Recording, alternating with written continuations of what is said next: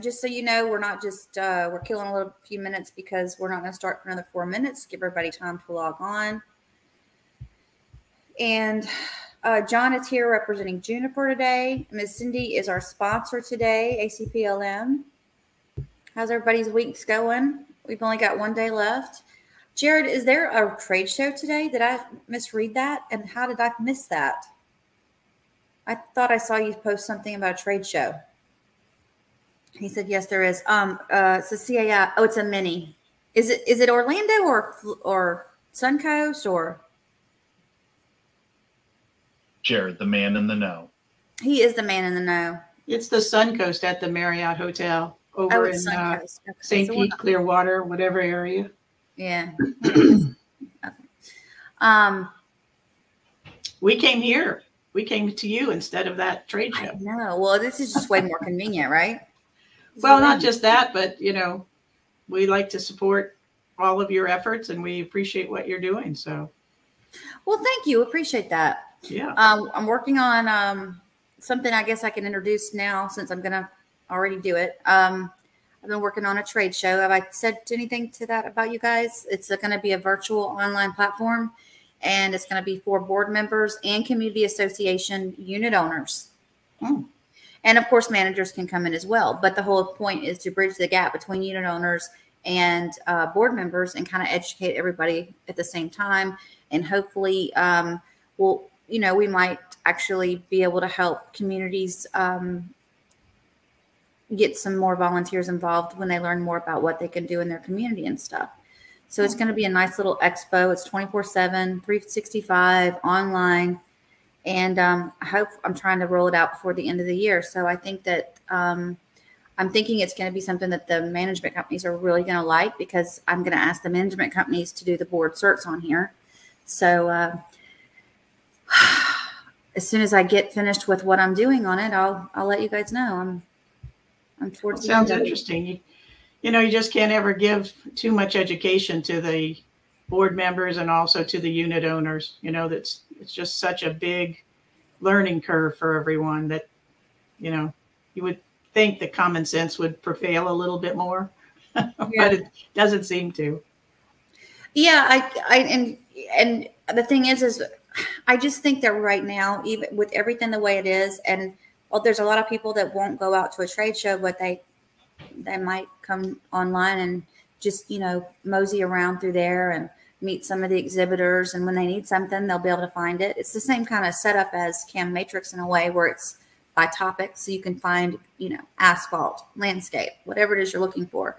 And um, it'll take you to their booth as well. So we do constantly do education on there and the beauty in it is is that we don't have to have cert like well you know the board certs would be done by the management companies but we don't have to provide cu courses on there.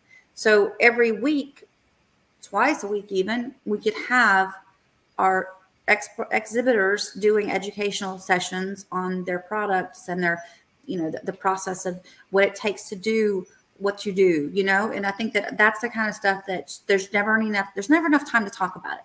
And they kind of will give it a platform not only to help the managers but also help the board members so. That's great all right, guys. Well, we are at the 1205 mark, so I do believe it is time to let Cindy tell us a little bit about ACPLM, who is sponsoring today's virtual online CEU course. Hi. So, good afternoon. I'm Cindy from ACPLM. We are a full service asphalt and concrete company. We service the state of Florida and basically anything, you know, that you might need from seal coating, small pothole repairs, a total mill and pave, um, curbing, sidewalks, ADA issues. And now, of course, we're entering the rainy season. So if you have any sort of ponding water or your catch basins are not working or flowing properly, you know, we can help you with all of those things as well. So we're here to be a good partner for you, a good resource. We invite you to pick our brains. I know your budgeting time is coming up. So if you need some bids and information for your budgets, you know, please don't hesitate to reach out to me and give me a call. We'd love to have that opportunity to bid your work. What were you saying earlier, Cindy, about what you're kind of telling everybody to expect this year as far as with gas prices being higher and uh, labor costs and everything? So when we're doing our budget uh, bids for our customers, what we're saying is you should add about 15% to that bottom number. Uh, if you don't need it, that's great because you have it there. But if you do need it, you know, then you don't have to take the money from some other project to make this one, you know, work or put this one off for another year. Because we all know as you delay work that's needed, it doesn't get cheaper over time. You know, your issues with sub base and asphalt issues will continue to deteriorate. And of course, that increases your liability and increases the amount of money it's going to take to get it right when we when when the board does finally approve it. So, you know, if you add that 15%, I think you'll be in good shape for your budgets when the board decides to pull the trigger on things. And like I said, if you don't need it, you don't have to spend it. And I'm going to do a quick slide out and show Miss Cindy. Her contact information is right there on this left side of your screen. You should see it. You click that button, it'll take you to her um, connection in Cam Matrix. You can send her a message and that'll stay up. You can, even if you uncheck this box over to the bottom left, it'll still stay up on the top of our chat window. So you'll be able to go to her later if you'd like to. Thank you so much, Cindy, for uh, sponsoring today. We really appreciate it. And our um, pleasure. Appreciate you supporting manager education through Cam Matrix. Our pleasure. Happy to do it. And we'll have a gift card giveaway later today, and I'll um, I'm going to do that after the the CEU class, and we'll I'll be emailing Miss Cindy with your contact information of the winner. Sounds great. Thank you. Bye, Cindy. Bye. All right, now we have John Daughtry, who is representing on behalf of Juniper today. And everybody, if you don't know John, John's been around in the landscaping industry for years and years. He's an old fogey. it's starting to feel that way after two decades. I think I think he's younger than I am actually. Um, but I'm going to pass the torch over to John and let him present his course today. I think you're all going to find it very interesting because he's always a great presenter. All right. Well, thank you, everybody. Uh, yeah, I'm representing Juniper today. Uh, they had a fallout with uh, one of their instructors, so they asked if I would step in and do it. So, of course, I said I would. Um, but if you do need anything from Juniper, uh, please reach out to Bonnie Marshall uh, over at Juniper. Here's her contact in information. I don't have anything quite as cool as Carrie does with all those awesome slide outs. Uh, so, if you need anything, please reach out to Bonnie Marshall. She'll be happy to get you taken care of. A little bit about me. Um, I have been doing this for over 20 years, working with uh, condominiums and homeowner associations. Uh, well over 20 years in the green industry, 10 years member of CAI, five years I sat on the Central Florida board. Um, I've been a certified arborist since 2005, a horticultural professional since 2000, and a landscape certified contractor since 2001. And I still even have my association manager license from 2015, which you guys have the most ungrateful job there is. Uh, so hopefully you'll enjoy this class. And then my favorite color is green. So if you ever want to buy me something nice, I like the color green, just in case. You never know. So what we're going to do today, we're going to talk about planting principles and plant ID. Planting principles, uh, some of those guidelines that we're going to be reviewing are from Dr. Ed Gilman, who retired from UF, is kind of like the planting god for us in the green industry. Uh, some pretty basic stuff, but we're going to go over knowing your site, which is very important because they're all a little bit different uh, plant spacing and some safety concerns, and then also plant installation principles. That's where we'll kind of go over the guidelines from Dr. Ed Gilman. And then plant identification, my favorite part. We'll talk about some plants, what they look like, what they're good for, what they're not good for, things like that. And last, we're going to talk about holly trees. Um, if you like holly trees, I suggest you plug your ears on that because I'm not a huge fan, and I'm just going to state that from the beginning so you know, so you're not surprised. All right, so we will go ahead and get started. So first thing is knowing your site. What type of soil type do you have? You know, Florida ranges so much. You know, if you're up in the Clermont area and stuff like that, where you have really sandy soils, uh, you can also go down south and have sandy soil, but it's not nearly as well drained as you have in some in Ocala and stuff like that. So really understanding the soils and you know the soils will lead to the next one, which is how well does your site drain? You know, we see something like this and we go, well, clearly it doesn't drain out of that area, right? It's basically a swamp. But we have areas like this. This was a project that Juniper did out in Casey Key. And the area we're looking at directly in front of us from in front of those palm trees, that area would flood consistently with water. And the reason being is the movement of water, even though it's on sandy soil, it's, it's on a key, for goodness sakes, it's all sand.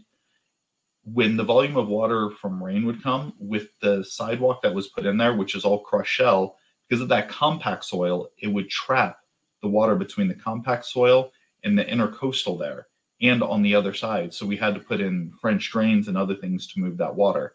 But just because something doesn't have good drainage, it might not look like that swamp it did in the beginning. You can have areas like this that can have major drainage issues due to, you know, walkways, things like that, that impede the flow of water.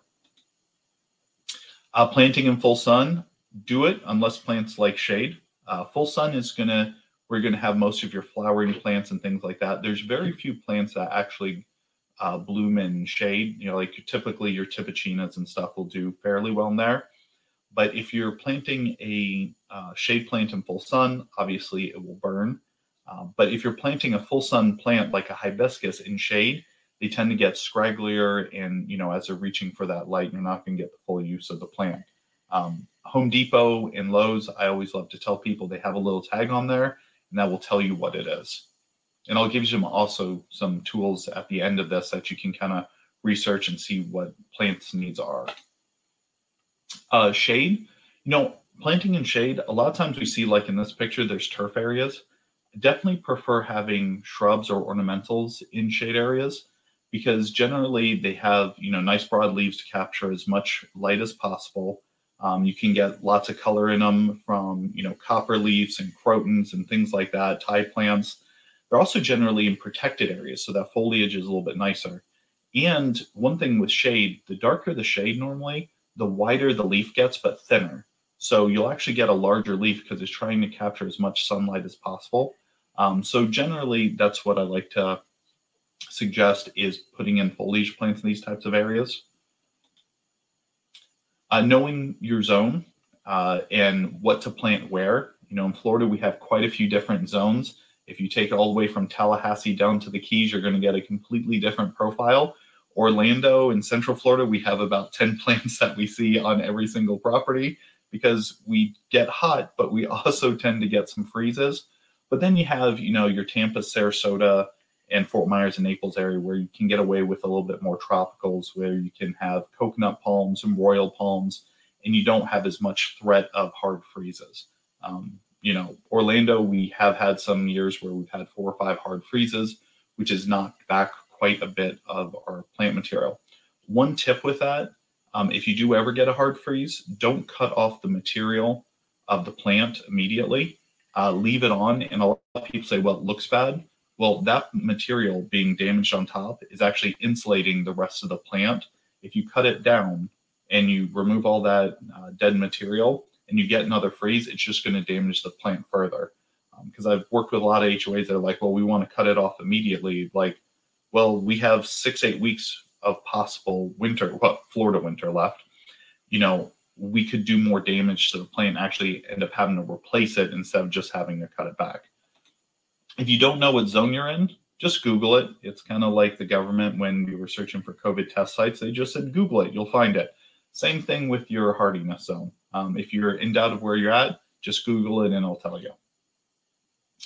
Uh, plant spacing.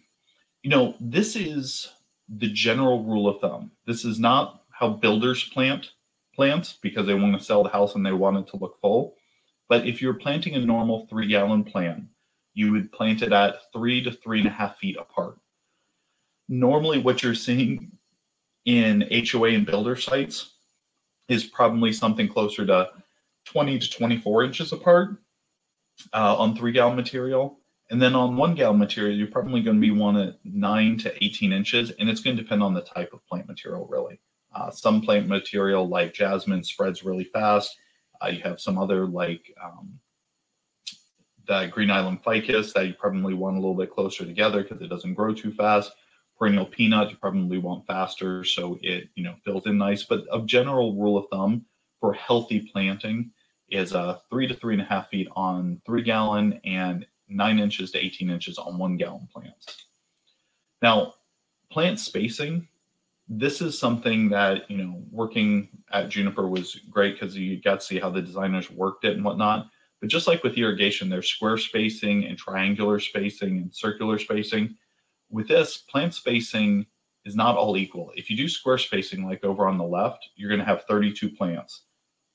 If you do triangular spacing on the right, you only need 26 plants. You know, and they're not as close to the edge, and you kind of get a little bit more buffer. Um, and you're saving not only on plant material, but you're also getting more of a natural shape. If you look at the shape to the right, when that grows in, it's going to have a curve to the edge of it, you know, look a little bit nicer. Um, the one on the left there is going to be a strong square, which can, you know, some people want that really hedge look, but the uh, triangular spacing will give you the best look. And see, it does because that guy agreed. So clearly, that's right.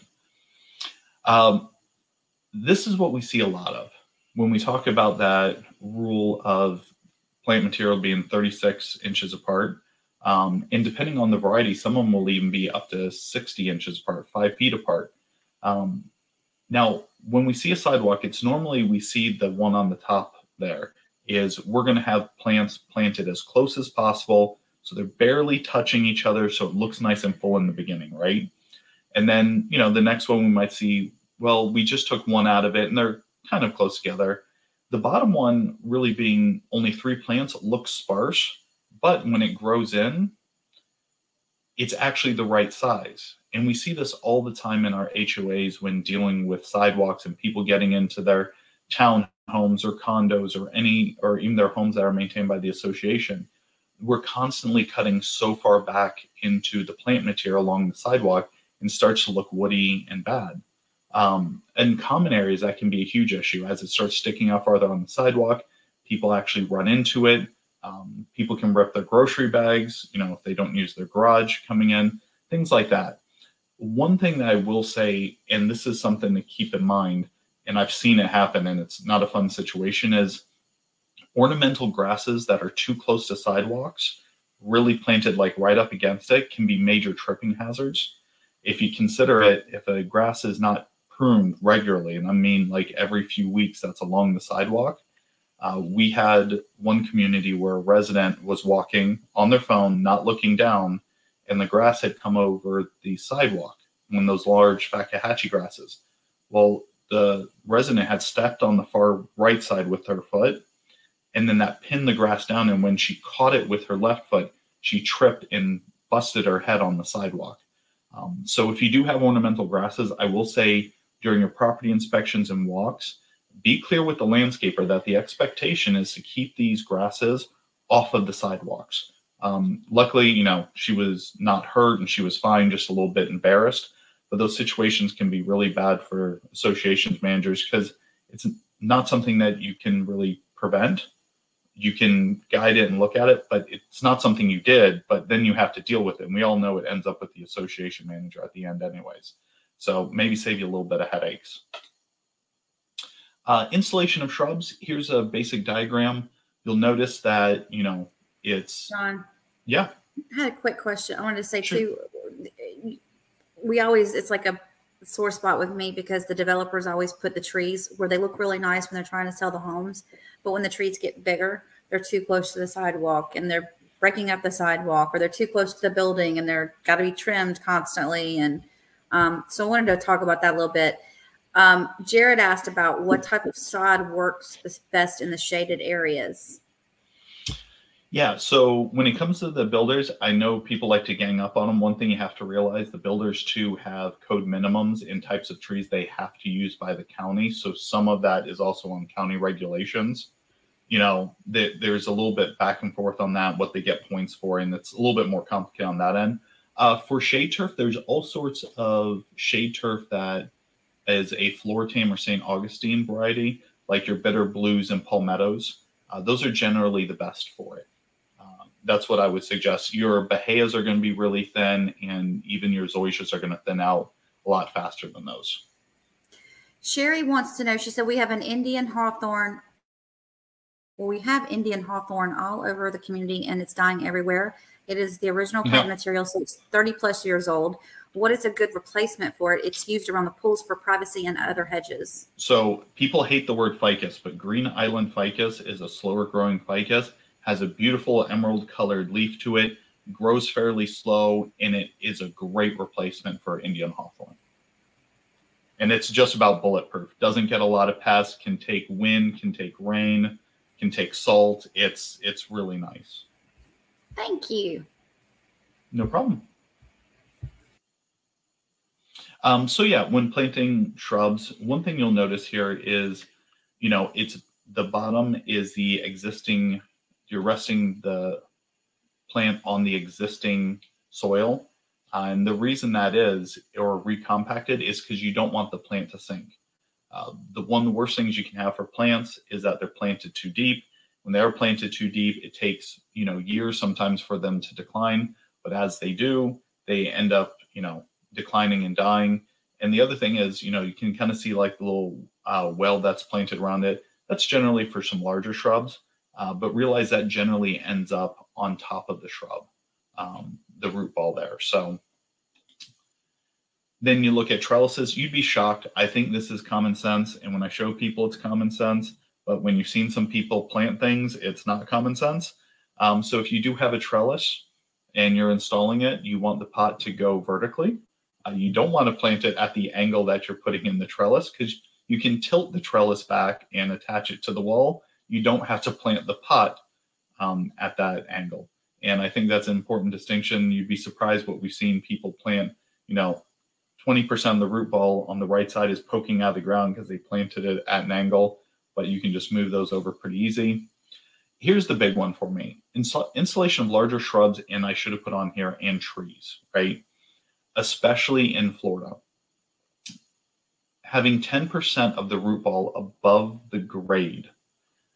And that's such a vitally important thing because as the mulch and the tree well get filled in, the last thing you want to have on your trees, especially you know your hardwood trees and palm trees, is them being planted too deep. You know, there's some instances where I've seen them plant as much as 15% above uh, the grade, because of water conditions and things like that. So if you are having an installation done, which is going to be the most expensive, are going to be your trees, large shrub material, and palms, is just check and make sure that that root ball is not buried too deep.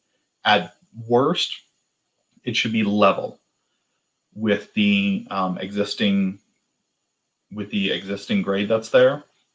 At best, it should be above it, and I would say 10% or so above that grade and it might look a little bit funny sticking out there, but as it gets covered with mulch, it'll be fine.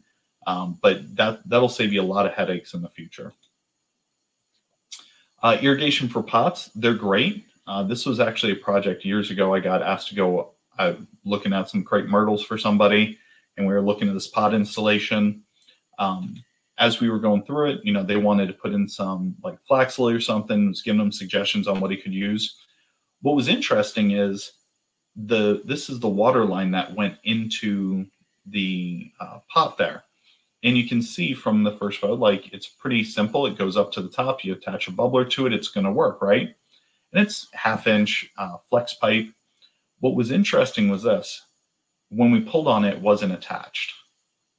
So the person doing the installation to basically check it off his list was just putting a pipe in there. So when it was inspected, it showed that it was attached.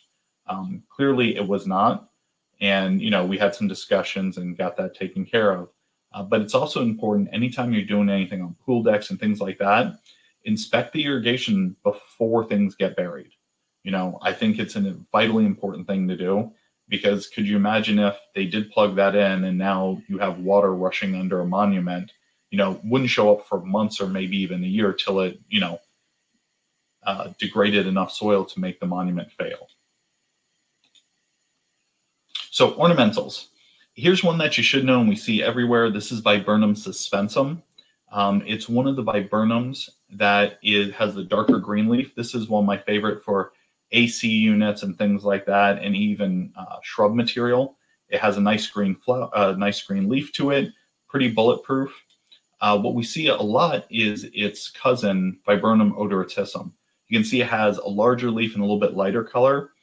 These ones around ACs too, if you have a larger area, I I suggest using these. But these around your AC units grow so fast and leave so large, they generally um, block the air more than the viburnum suspensum. So if you have a smaller area, use suspensum. If it's larger, use odoratisum. Uh, some more on those. Uh, for those folks on the coast, silver buttonwood can be a great shrub. It doesn't like to be hedged too much, but if you can have it in an area where you're cutting it back every so often, and it's very salt tolerant, and it has a nice gray color to it, almost like a lamb's ear. And then cocoa plum. Cocoa plum is one of those we use a lot over in Southwest Florida. Actually had an interesting uh, text today. Someone said, well, someone wants to plant a papaya tree and it has fruit. And I told them no, because you can't plant fruit trees. And they go, well, cocoa plums have fruit. And it's true, they do have fruits, but remember they're being hedged all the time. So that means those fruits are generally being cut off or the buds are being cut off before they ever produce fruit. But that lady really wanted a papaya tree. Uh, how you use plants, you know, we have these townhome frontages. There's so many different things you could do. You could just use, you know, some mock gardenias with jet, uh, juniper. You could also use flax lily with viburnum suspensum. You could use viburnum suspensum and a couple podocarpus and some Mexican heather. You know, there's so many different ways, like same area, but so many things that you could do different with the townhome community and those fronts. And, you know, you can vary them by the different uh, model types and stuff like that. Confederate jasmine, one of my favorite ground covers. A lot of people use it as a vine to, you know, go up walls and things like that. It actually makes a great ground cover, especially in like parking lot islands and things like that, where you don't want to have mowers going around cars and stuff like that, but you want a nice, you know, clean green appearance.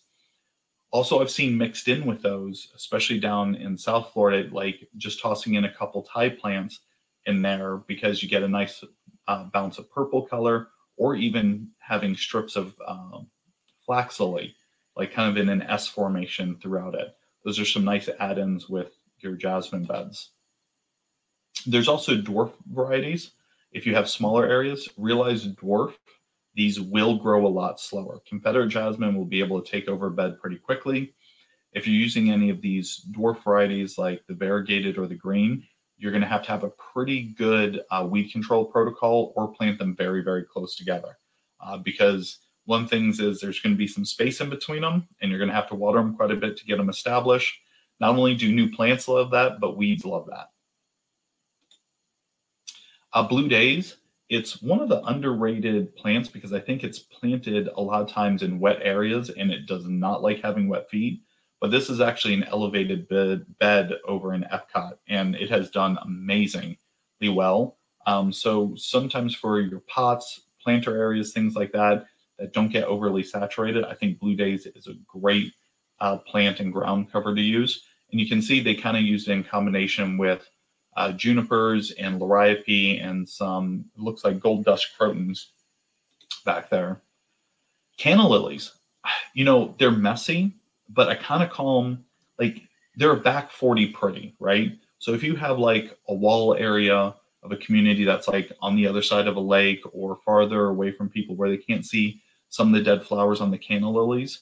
You know, planting those kind of in areas where people can see them when they bloom and when they're not, you just cut them all back and let them grow again.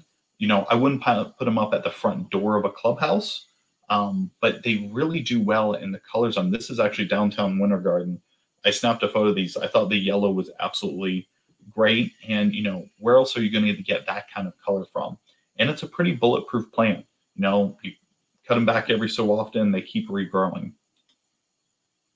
Copperleaf, again, this is one of those plants that uh, we're starting to see used a lot more along entry walls and community buffer areas. You know, if you use in the back and use something maybe green in the front of it, you can let these grow up to four or five feet and get some really nice color. They do really good in shade.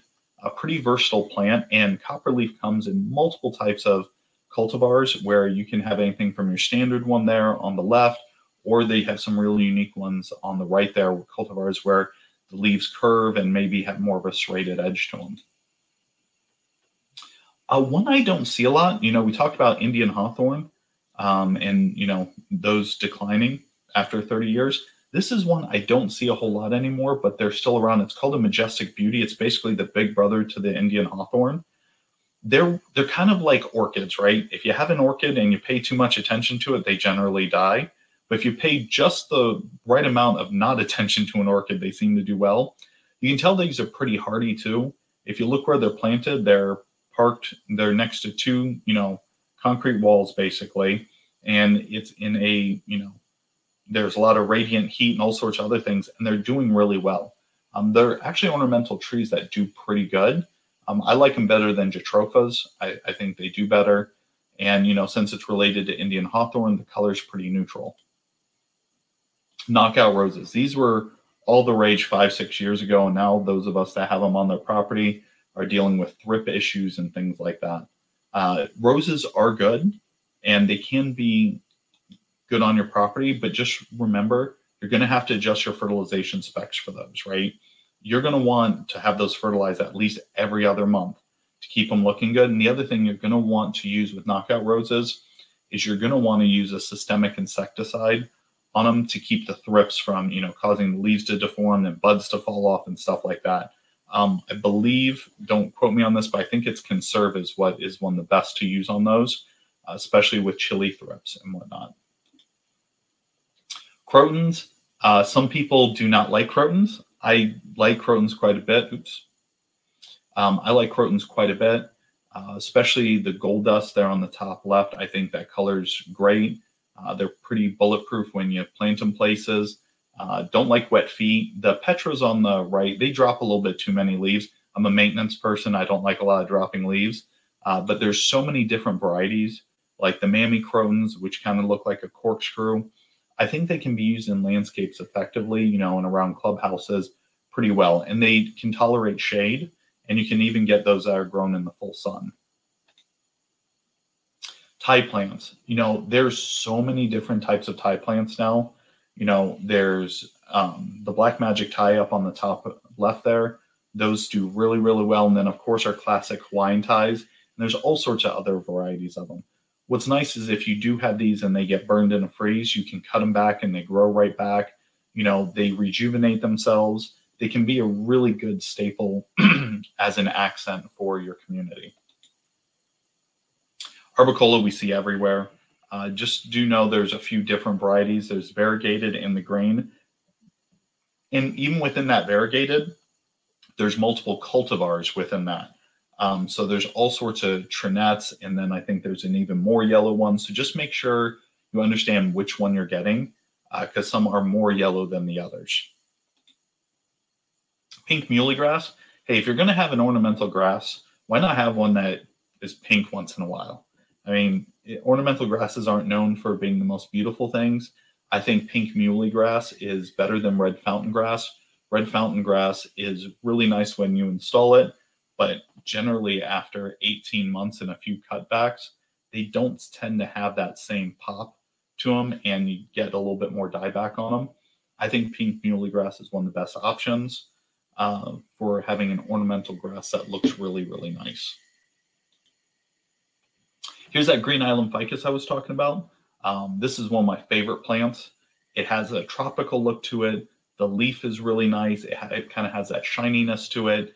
I think it's a great plant, and it, you know, unlike other ficus that grow like a weed, this one grows well, but it's not going to grow to the point like you're cutting it out of, you know, all your other plants. You know, it doesn't grow like a jasmine or things like that, and it just has such a nice leaf to it. Almost has a succulent like look to it, but it, due to having that thicker leaf and whatnot, it's not really prone to many pests either. And to me, that's a win-win. A good-looking plant that you know can replace Indian hawthorn. It doesn't have a lot of pests it's tops in my book. A wax myrtle. Generally, people who know what wax myrtle is have done something in a native area that they shouldn't have. Um, wax myrtle is one of our native shrub materials that we use to fill in for certain types of plants, um, you know, and replacements and mitigation. They can be decent trees just as they get larger, they tend to be brittle. They do not make good shrub material, even though the ones on the right there I've seen people try to make those into shrubs. After about four or five years, they kind of just green on the top and leggy at the bottom. But uh, they do make uh, good replacements when you need them. Firebush. Okay. So make sure when you get firebush, it's a great plant, blooms orange. A lot of people like it. But there's a regular and there's a dwarf. The regular I have seen grow 15 feet tall. And in a short period of time, I've seen it eight feet tall. So you'll know whether you have the regular or the dwarf. One, the leaf size on the regular will be larger, but a lot of times when they come in three gallon material, they look very similar. So make sure you're looking at the leaf size when you get them. And if you see that it's growing faster than normal, you plant one of those in summer, trust me, if you plant the regular, you're going to notice greatly um, how fast it's growing in like six, eight weeks opposed to the dwarf. So just make sure if you do get it, get the dwarf and make it clear to your uh, landscape provider that you want the dwarf, unless you want something that gigantic. But the uh, regular firebush grows quite, quite quick. Agapanthus.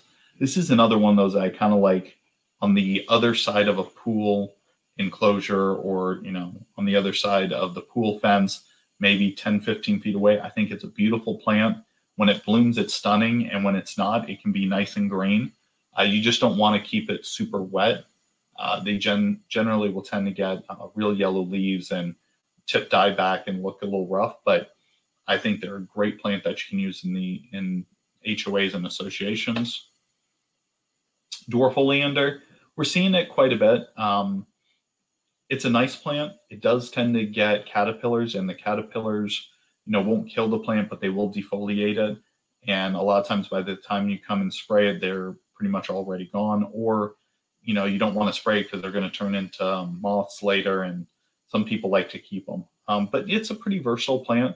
I don't like to put them around pool areas or anything with um, people just because you know oleanders uh, can be poisonous. So I try to keep those generally away, but they are a pretty plant. One of my favorite plants and most versatile plants is the Chinese fan palm. So you can buy it on the one on the left, like saw palmettos, the native saw palmettos. If you ever have to replace an area of those, my goodness, is it expensive. But if you kind of want that look in in island in one of the communities or whatnot, you can just use Chinese fan palms. And then as they grow up, they become the palm on the right. You know, it might take 15 years, but you know, you can go from having a nice little palmetto green tropical area to having some nice palms that have grown up in its place. Uh, but they're a really, really great palm. And uh, just so you know, this is not a triple on the left there. That's just three palms planted in one, one container there.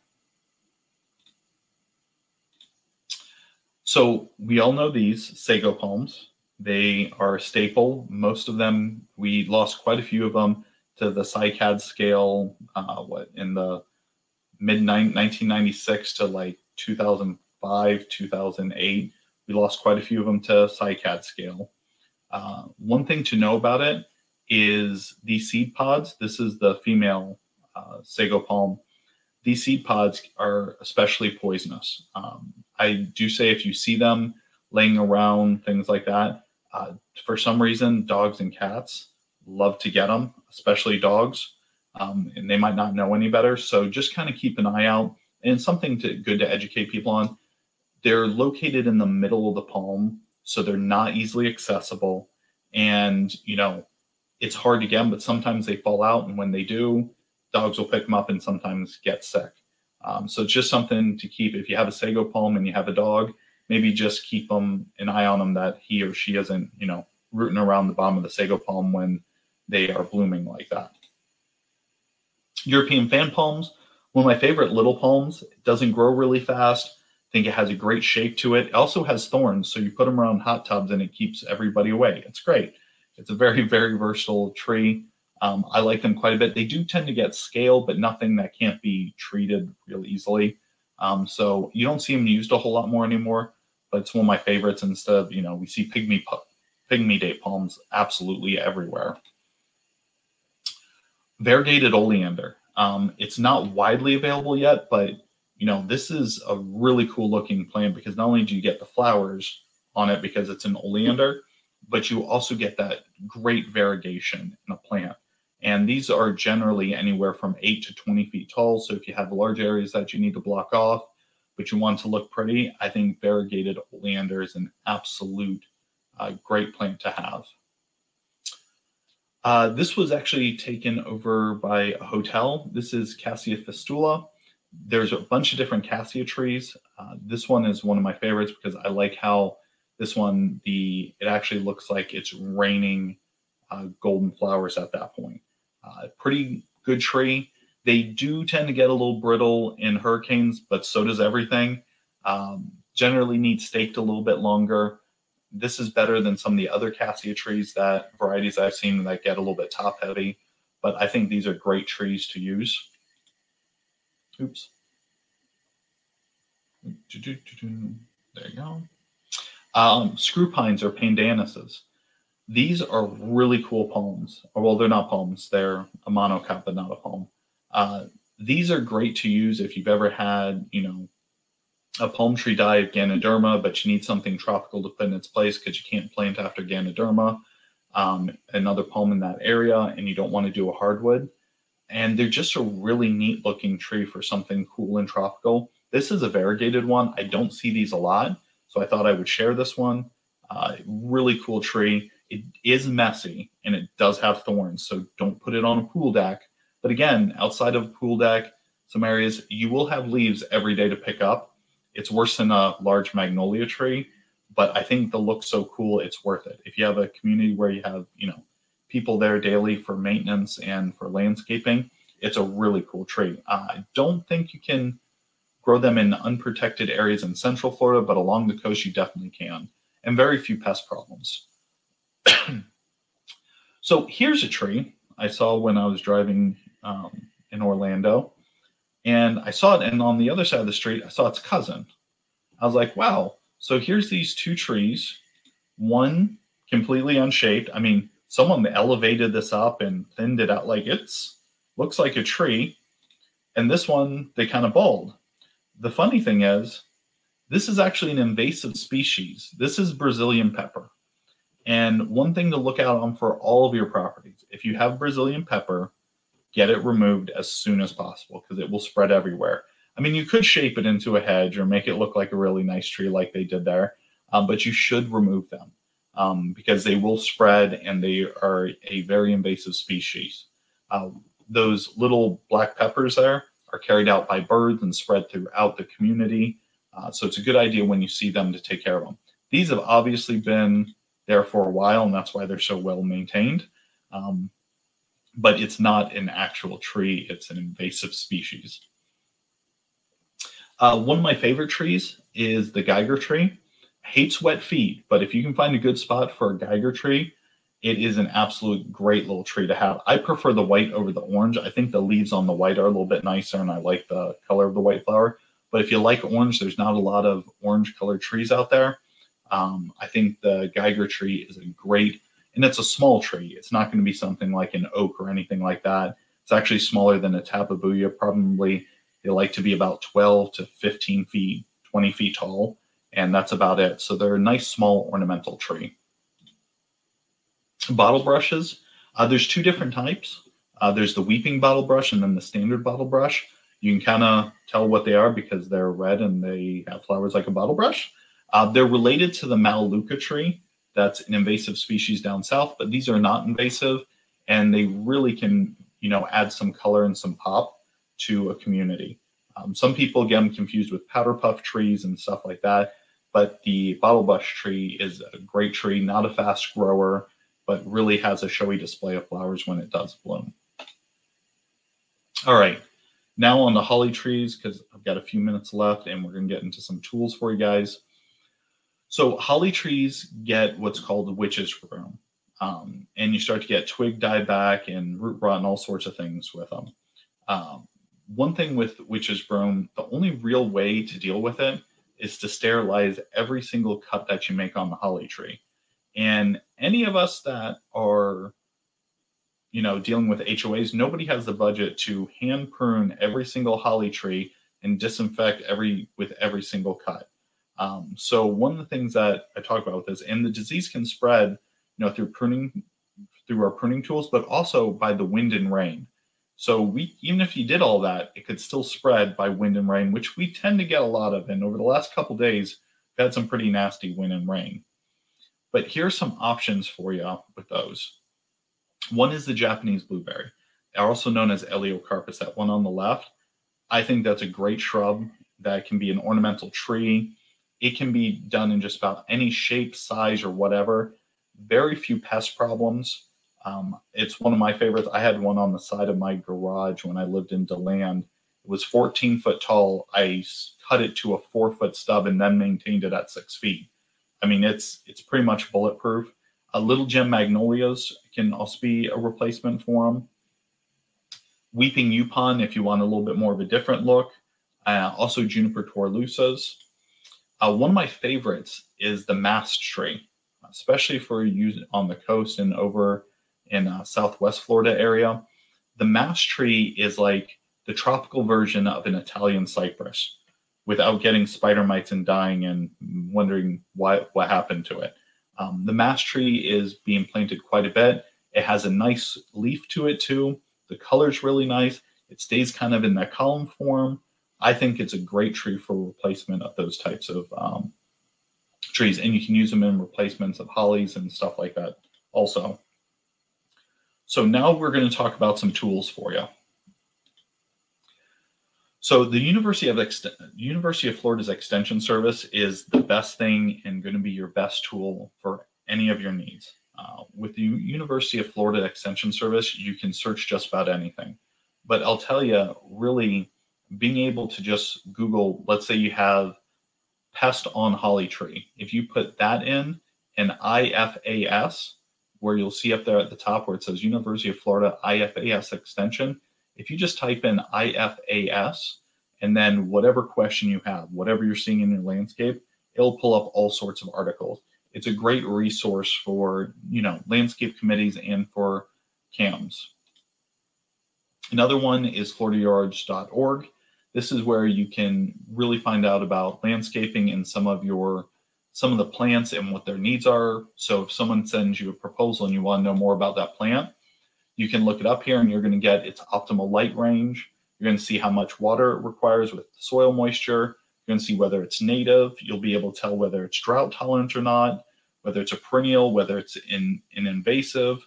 You'll get general comments. You'll get its growth rate, its mature height, mature spread, what type of soil texture it likes, and pH that likes, and whether it's salt hardy, or not, um, or in the hardiness zone for cold weather range. It gives you so much information uh, just by using that website there. You can get it also on shrubs, things like the Thryallis. You can, you know, find out whether something is native or not. You know, you can see this one can be in dry soils or wet soils or shade or, you know, slightly sunny, partially sunny or sun. I sound like a weatherman at that point. And, you know, whether it's a native or not. What's the website? I'm going to put it in the chat. Uh, FloridaYards.org. And then, you know, one of my favorite shrubs is actually wild coffee. You don't see it a lot, um, but wild coffee does great in shade and gets a little red coffee berries and has a great green glossy leaf. You also have that it's a native, and you know, native doesn't necessarily have to mean ugly. Um, it doesn't like getting really cold, so us uh, here in Central Florida, we're kind of out of luck. But you know, up to about St. Pete area, it's really, and maybe up into Tampa, it's really nice uh, shrub to have. One of my favorite things of all is there's an app called Picture This Plant Identifier. And I know, oh, well, it's just for nerds, blah, blah, blah. Yes, it is. It's for absolute plant nerds. When I was at the ISA convention, a tree convention a few days back. Uh, we were there for three days doing training, right? We tested all sorts of different apps to see what was the best, and we had cuttings of plants and photos from our phone.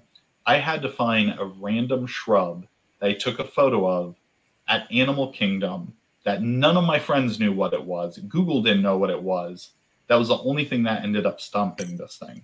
Um, I go to Animal Kingdom almost on a weekly basis, and I try this out on all sorts of trees and shrubs, and I am shocked at how much it knows. I, I haven't stumped it yet, and I think outside that one shrub that I um, um, yeah, it, it's an amazing app. It can also tell you, depending on the photo, it can tell you whether there's something wrong with the plant or if it's having issues and things like that. So if you have a landscape committee that you know, always has questions and things like that, tell them download this app. If you want to know anything about your property, any plant and what it is, this is the best thing to have. Um, it's also great, especially for everybody in Southwest Florida that, you know, in Central Florida, like I said, we have 10 plants. We do a lot of viburnum here, right? But down in South Florida, there's six or seven different varieties of jasmine, right? So when you're planting jasmine and replacing plants, you can be sure that you have the right one because you can take a photo of it and it'll tell you whether it's a downy jasmine or a star jasmine or a gold coast jasmine or a lakeview jasmine. Like it'll tell you the differences. Um, i think this thing's really cool and it's fun to stump people too. Um, I, I get stumped at animal kingdom so i use this app to you know just be a complete plant nerd um, so hopefully you guys found some of this information interesting this is my cat bentley he's 19 um, if you guys have any questions let me know and I would be happy to answer them. Very nice. I'm, my sister is going to love that app you just mentioned. I gotta say, oh, it's the her. best. She's a plant aficionado, man. She she loves that stuff. Okay, guys, time for questions. Anybody have any? Now's the time. While you got him. Speak now or forever hold your. Speak now or forever hold your peace. We may have him at the next. Uh, I don't know. I think we have another one with Juniper scheduled. I'm not sure. All right, guys. Well, if there's no questions at all, let's do our quick drawing to see who has won uh, Cindy's $25 gift card to local restaurant. It's one of those that has multiple restaurants on it. So I'm going to pull up the quick draw. Oh, what is the app called again? It's picture this dash plant identifier, right?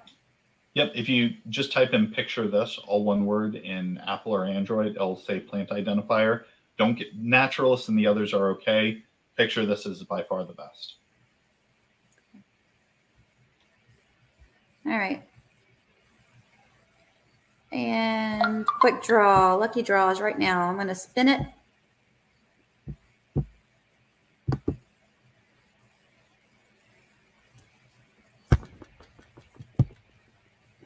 spin.